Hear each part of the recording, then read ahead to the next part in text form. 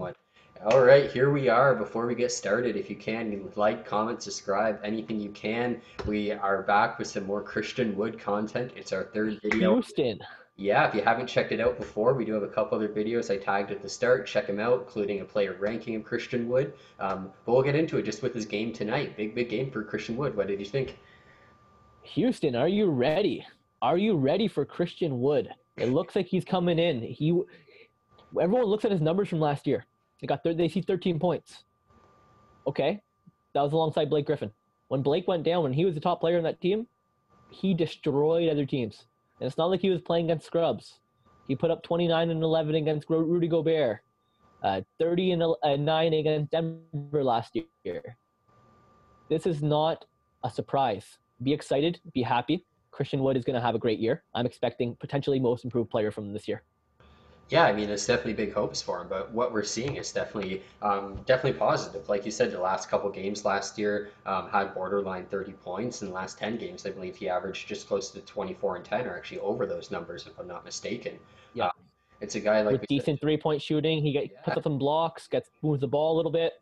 Yeah, yeah, he had a couple big blocks today. Um, if you haven't seen the highlights, definitely go check it out. Um, and it's great too because he's a guy who, even though we rank as center and we know he can be a center, he's not the biggest guy out there. But the fact that he's still able to um, obviously not only get blocks, but he also led. Um, he had a game high in rebounds with 10 as well.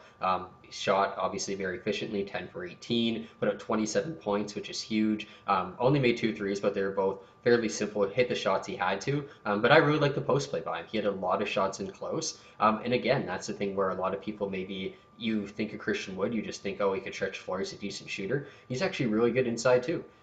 I think he's better inside than he is at shooting. He's not a bad shooter for his position. He's not exactly an elite marksman, but he can he can get the three point shot off. Yeah. I'm I'm just thinking of Wood and Cousins in the same lineup.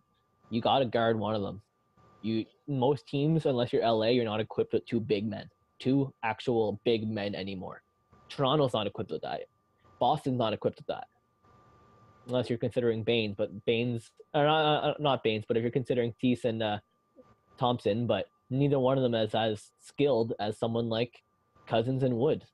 Unless you're talking about the LA Lakers, they these guys could have the one of the best front courts in the league.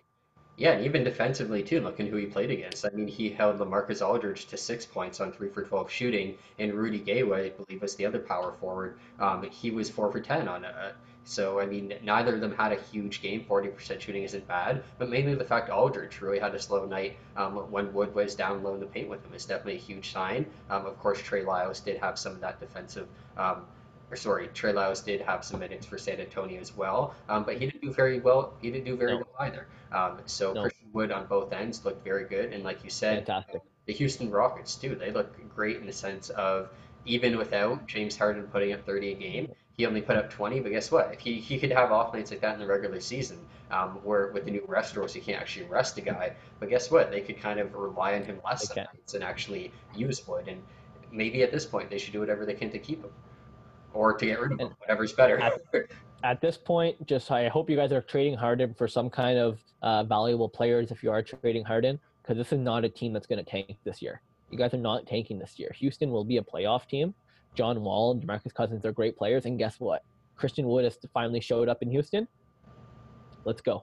Let's go. Big game for him, and I could def- definitely expect to see a lot more. Like you said, potential most improved player. If I had to pick a top three, I would say he's definitely in there for sure. 100%. With that being said, guys, like, comment, subscribe, hit us up. We do a lot of Houston and Texas basketball um, and overall just basketball in general and other sports. But check it out. Check out our Woods videos and uh, come back for more. Definitely. See you guys soon.